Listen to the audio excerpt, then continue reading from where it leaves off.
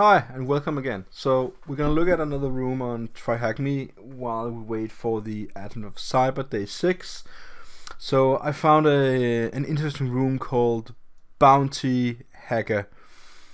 It says you talked a big game about being the most elite hacker in the solar system. Alright. Prove it and claim your rights to the status of elite bounty hacker. Alright, so we're gonna become an elite bounty hacker and I already started the machine as you can see. Well no that's my IP address on my own box. This is the IP address in the box I'm going to hack. And already joined it already started the machine to save some time.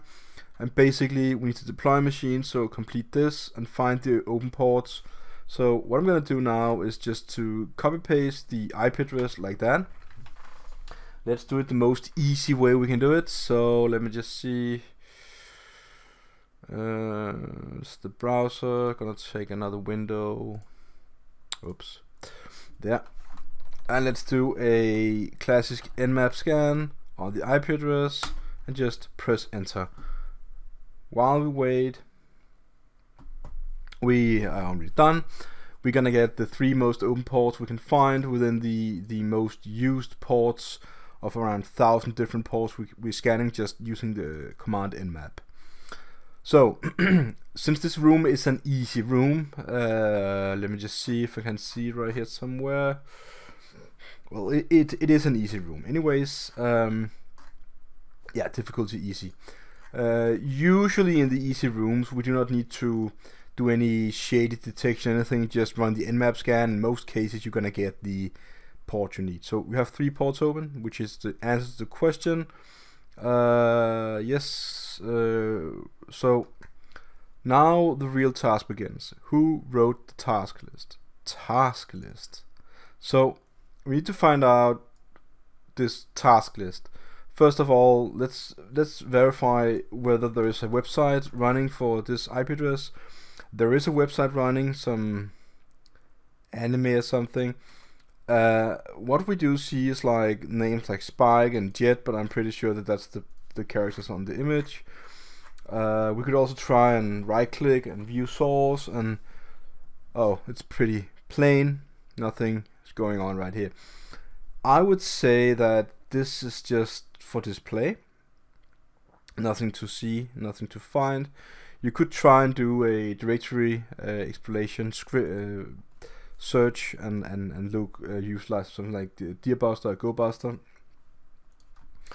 The question is who wrote the task list. So I would like to say that there is a good chance that we could run a GoBuster on it, but let's just look at the port list first. We have FTP, SSH, and a web server. So first of all, let's try to log in on the FTP server, which is gonna be on the IP. Um,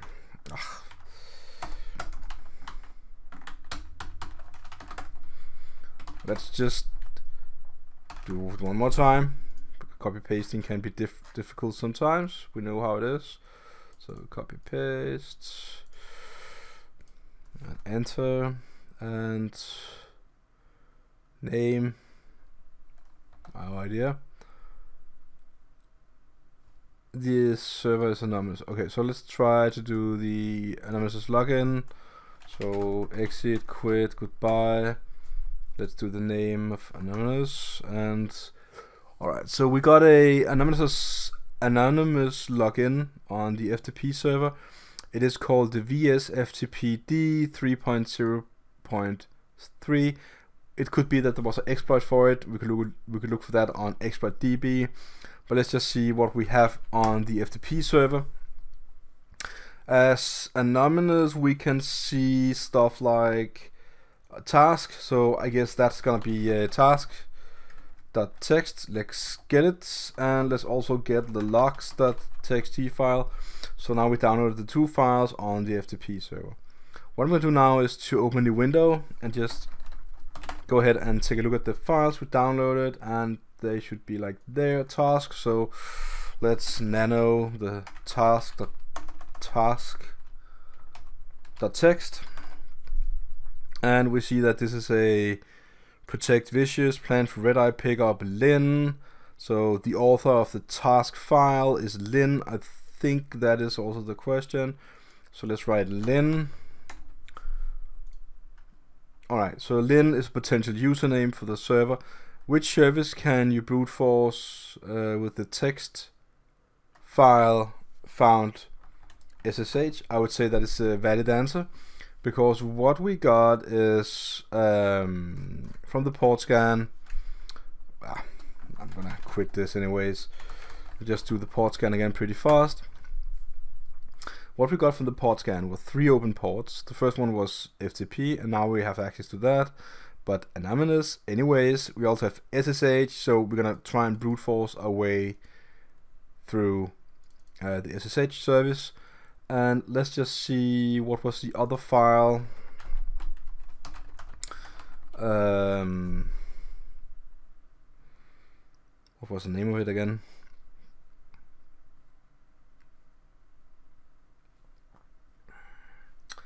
Totally forgot that.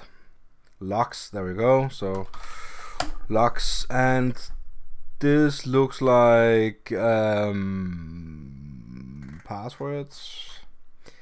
Usually when I see stuff like that, if they all were about the same length, containing these dollar signs and stuff, I would think encryption, but or hashing uh, values. But since this is not that, and it does say Red Dragon and Syndicate Dragon. It looks like passwords to me. So what I'm going to try to do is, you know, clear the screen. I'm going to try and do a an access uh, a brute force using Hydra. And we do have the username of Lin and the password list would be Lux. And let's say the IP address, we have it? Uh, damn. Um, yep. Uh, Hydra. Lin. Password logs. Um, let's copy paste the IP address. That should do it. Uh, no. Mm.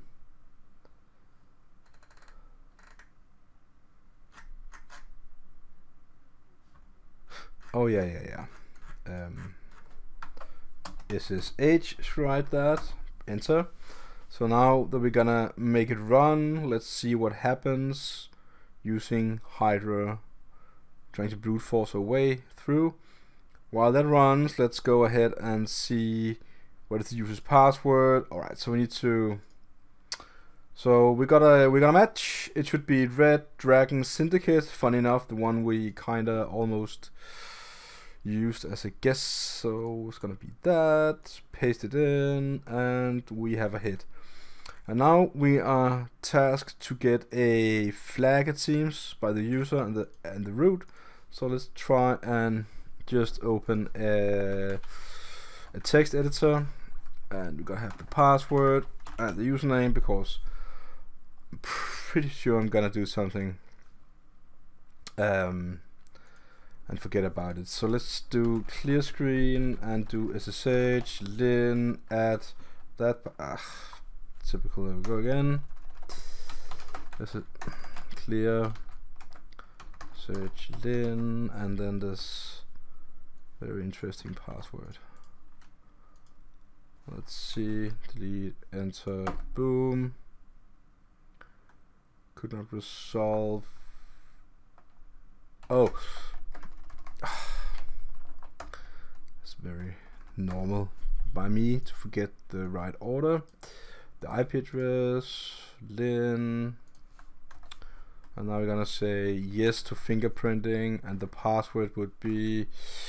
Now I have the same problem again, copy pasting from a text editor as I mentioned in an earlier video. Let's put it into the there. I'm gonna copy paste it from the console like this, going back, put it in here, and entering, and now we are logged in to the machine with the user Lin, who am I, who ID is fine. So we are the user Lin, and we have a flag in user.text. Let's take it. So it's called uh, Try Hack Me Crime. Oops. Syndicate come on, you can do it. There we go, copy pasting. 40 years of experience. You should think that I already knew how to do that, but no. so let's see the root flag now. So now we're gonna look for particular stuff clear, thank you. So sudo l uh, let's just copy paste the password one more time. Boom, boom. And do we get anything for that? Okay, let's do it one more time. Red dragon, copy, paste. There we go. So we're looking for what do the user Lin have access to. As a root user, we can run something called bin tar, and this is just exactly what I'm going to look for. So let's go to the uh, GTFO bins. So let's open that. Let's see. GTFO bin GitHub. A page is really good for uh, binary exploitation to to to get uh, privilege escalation. So the tar file. Let's pick it. And was it correct? It was tar. It was tar. So let's see. We can get a shell. Um, many different ways. File write, file upload, file read, sudo. So this should be the one. Let's see, sudo tar cfh. This, let's run it. So there we go, and ID and boom we root. So ls user cd ls slash home lin. Mm,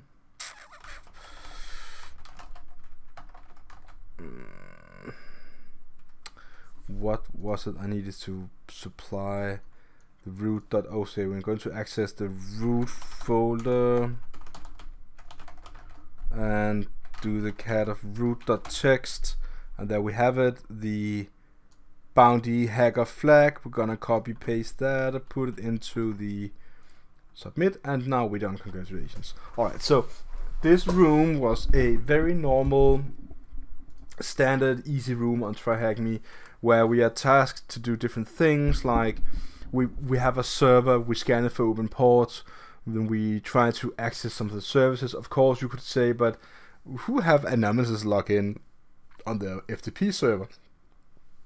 And who would leave a file containing all the passwords? I know. It's an easy room but sometimes people are stupid. So I'd like to say that uh, by knowing all, these kind of things, you also know what to say to your employees, saying like, "Don't do that, do this, do that, don't do that." So, yeah, I would like to say that it gives you a certain amount of awareness around the fact what is you going to do and not to do when you're setting up a server.